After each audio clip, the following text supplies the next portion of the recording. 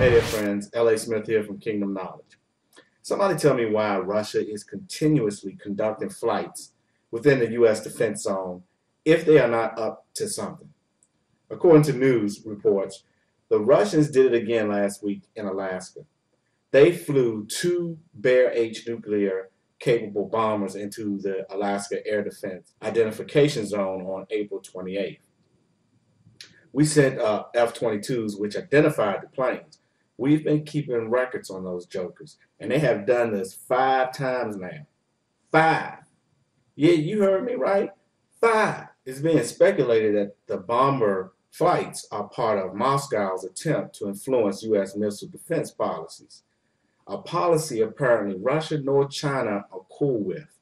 They apparently want us to not be so aggressive with our international defense deployment because it is undermining their strategic offensive missiles, which is reportedly being expanded. So let me get this right. It's being speculated that they want us to not be so aggressive with our missile defense deployment because it is weakening or counteracting their offensive missile strategics. So to get us to stop being so aggressive, they become more offensive and fly into our airspace.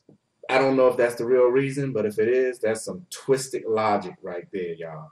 I think you would agree with me on that. Anyway, I thought you guys would be interested in this latest development. I'm not hearing it very much reported on the uh, mainstream media. So there you have it. Until next time, take care. God bless.